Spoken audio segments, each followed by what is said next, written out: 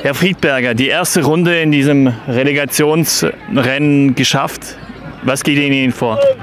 Ja, un unglaubliche Freude. Ja, ich bin total stolz auf, auf, äh, auf unsere Mannschaft, auf den Verein, ja, weil es war ein hartes Stück Arbeit.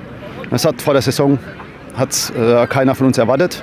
Aber wie gesagt, wir haben jetzt das erste Spiel gewonnen. Äh, es ist noch ein weiter Weg. Noch einen Schritt müssen wir tun, ja, einen großen Schritt. Und dann haben wir vielleicht das geschafft, ja, wovon viele hier im Verein träumen oder, oder zunächst mal träumen gewagt haben vor der Runde.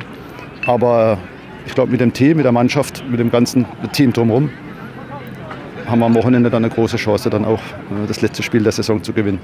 Zum Spielverlauf war es so, wie sich, Sie sich das ausgerechnet hatten? Ja, es war so, wir wussten, dass äh, Öschelbronn wahnsinnige Qualität nach äh, vorne hat. Wir wussten, dass sie sehr gute Standards äh, spielen. Das hat man auch gesehen im Spiel. Es waren einige brenzlige Situationen zu überstehen.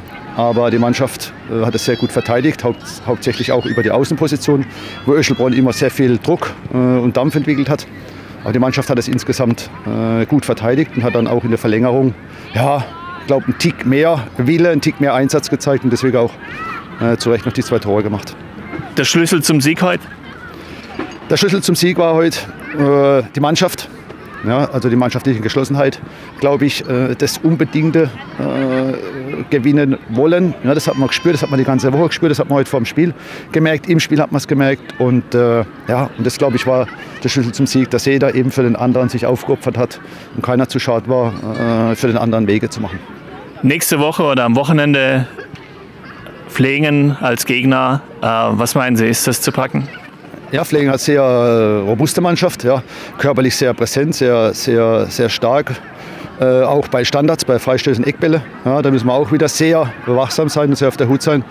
Aber ich glaube, dass wir ein Rezept dagegen finden werden und vielleicht am Ende dann äh, als glücklicher Sieger vom Platz gehen werden. Man wird sehen in einem Spiel, da kann sich eben ja, alles entscheiden. Ja, und äh, man muss einfach halt gucken, dass wir am Ende vielleicht der glücklichere Sieger sind am Wochenende. Herr Friedberger, ich danke Ihnen vielmals für das Interview und wünsche Ihnen viel Erfolg. Vielen Dank.